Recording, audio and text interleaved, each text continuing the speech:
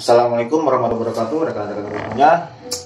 Nah sebelumnya kita sudah belajar apa itu contoh ya yang ini ya yang di sini semuanya kita sudah belajar. Sekarang kita akan belajar apa itu signifikan support atau signifikan resisten. Bisa dibilang disingkatnya SSA. Wah ini sangat penting ya. Saya harus menginfokan signifikan support and then signifikan resistance itu sangat sangat sangat sangat very very important. Sangat sangat penting dalam belajar forex maupun belajar crypto and then apa pun ya yang tentang trading ini sangat sangat wajib mengetahui dan sangat sangat wajib paham. Ya kita langsung ke MT4 saja ya langsung study kasus ke MT4 nah yang di mana di sini ya di sini saya sudah markingkan zone-zone dengan trendline mana area resisten dan mana area support. Kan di video sebelumnya sudah saya ajarkan bagaimana cara memarkingkannya ya. Dan di video ini saya akan menjelaskan mana titik letak area yang signifikan jadi ada dua dibagi menjadi dua ya menjadi dua area signifikan support itu yang pertama yang very very tinggi dan very very low. Yang maksud very very tinggi dan very very low itu yang memang memang terendah. Nah, sepertinya resisten ini enggak ya. Ini enggak termasuk resisten. Oke, kita hapus dulu. Terus ini masuk tidak resisten? Support and resisten masuk tapi bukan signifikan. Tapi kita cari yang benar-benar rendah dan benar-benar tinggi. Jadi tidak semua area resisten dan area support kita marking. Jika kita markingkan semua, maka chart MT4 ini akan kusut ya. Banyak sekali area resisten dan area support. Tapi kita pilih mana area yang signifikannya. Ini area yang bawah, signifikan, sangat bawah. Ini juga sangat bawah. Ini juga sangat bawah. Ini area signifikan support. Lalu Area mana lagi ini bukan area signifikan support ya, bukan. Ini area apa? Resisten sangat tinggi. Paling rendah, paling tinggi. Oke, itu signifikan. Yaitu signifikan. Ini tinggi juga, signifikan.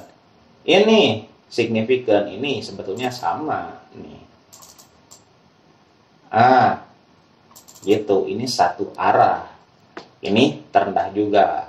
Ini terendah. Ini bukan signifikan. Jadi tidak semua area resisten dan area support kita marking, tetapi kita pisahkan mana yang signifikan dan mana yang tidak. Yang tidak-tidaknya kita hapus. Yang signifikannya kita jangan hapus. Signifikan support and then signifikan resisten kita bagi menjadi dua. Yang pertama yang paling tinggi and then paling rendah. Itu untuk signifikan yang pertama. Dan signifikan yang keduanya terdapat minimal dua area support yang sama baris dan dua area resisten yang sama baris. Ya ingat sama baris. Jika beda satu pip dua pip tiga pip ya tidak apa-apa ya. Yang dimaksud sama baris ya sama baris nih. Kita cari area support and resisten yang sama baris. Nah ya tukarkan ke line chart. Resisten resisten resisten. Jika di line chart ini tidak sama baris. Ya tidak. Tetapi jika di candlestick lihat kita zoom saya zoom. This is resistant. And then this is resistant. Posisinya sama baris. Maka ini disebut signifikan resisten karena minimal dua. Ya ini disebut R1 oh besar sekali ini. Ini kita sebut R1 Resisten pertama, lalu resisten kedua yang sama baris. Kalau beda satu pip, dua pip, no problem. Satu pip, dua pip, tiga pip, no problem ya. Kita markingkan aja. Tapi kalau udah beda 5 pip, 10 pip, wah itu baru masalah. Nah, minimal ada dua area resisten and area support yang sama baris. Itu disebut area signifikan support and area resisten. Nah, ini ada dua. Satu, dua. Artinya ini signifikan resisten. Oke. Lalu ini ada satu, ada dua. Ini sangat apa namanya? Ini sangat berdekatan. Ini R1. Ini bab advance ya, masuknya ke beris. Anger pink merah-merah. This is R1 and this is R2. Ini dua resisten yang sama baris. Di sini R1 and then di sini R2. Dua resisten yang sama baris. Meskipun ini beda satu pip saja, no problem masih area signifikan resisten. Ini hanya dua. Kita cari lagi area area lain, area support yang sama baris. Ini bukan ya, bukan signifikan. Nah ini signifikan. Ada satu, ada dua, and then ada tiga. Zoom lagi. Nampak jelas ya? Nah, tiga nih Meskipun ini beda hanya beberapa pip. Nah, jika ada seperti ini yang beda beberapa pip, ya mungkin 1-2 pip lah. Kita makinkan yang kecilnya saja. Nah, yang satu, ini dua, ini tiga. Ini beda hanya berapa pip saja? Itu dua tiga pip saja. Kenapa belum? Kita ukur dulu. 3 pip, no problem. This is S1. S1, ya. S2, S2, S3. This is significant support. Nah, jika sudah ada S1, S2, S3, kita namakan significant support.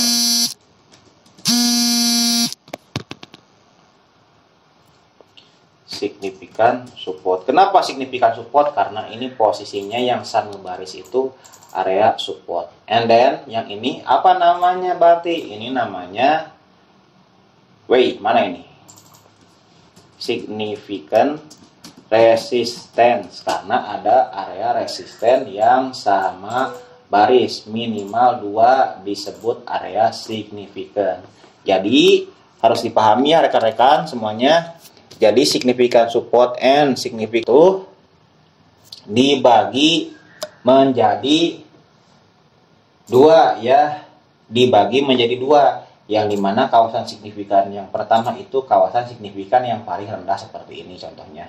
Paling rendah paling rendah paling rendah. Disebut signifikan. Kita garis kasih garis kasih garis kasih garis. Terus signifikannya yang paling tinggi juga kasih garis kasih garis kasih garis setelah tahu mana signifikan yang pertama kita cari signifikan kedua signifikan kedua itu ialah di mana adanya letak support dan resisten minimal satu yang sama baris.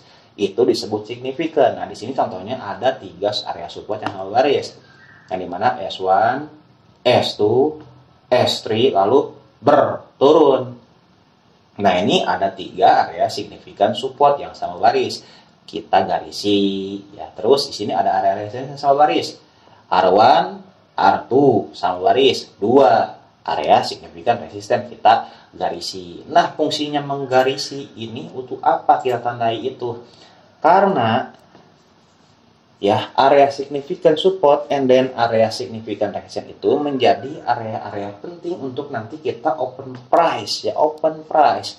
Entahlah di situ ada fake out atau whatever atau QM juga ya.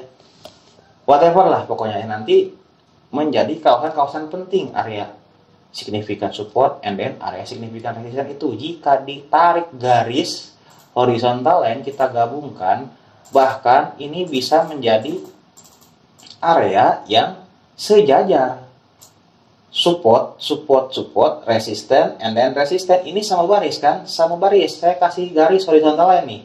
Tadi pakai pakai line aja. Hanya support support support. Lalu dia turun ngebreak And then di sini ada resisten resisten. Tapi jika ditarik garis horizontal line nih, horizontal line saya adjust, sejajarkan, memang sejajar area signifikan support and then area signifikan resisten. Nah ini sebutnya kawasan apa jika sudah ada area support and then kawasan area resisten yang sama baris ya.